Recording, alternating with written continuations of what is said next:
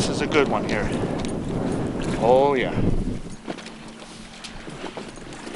That Rock N Vibe. We've been throwing that Rock N Vibe for several hours now. It, it just keeps on coming.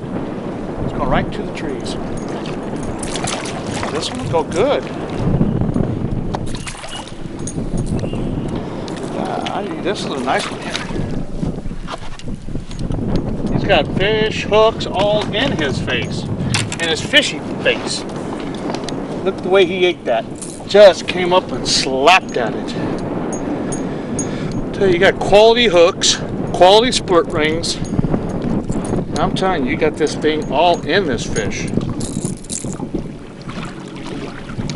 You know, Rock N Vibes by Ima is a high quality vibration bait. And with the components, you're getting a high quality plug that these little hooks go right into this, what that fish is eating. If you look at the size of his belly, he's been eating nothing but shad, and this is the size of shad he's been eating. I'll tell you what, this is the bait when you've got the size of the fish you want to catch and the size of the bait they're eating, put it all together. Rock N Vibe by Ima. Nice.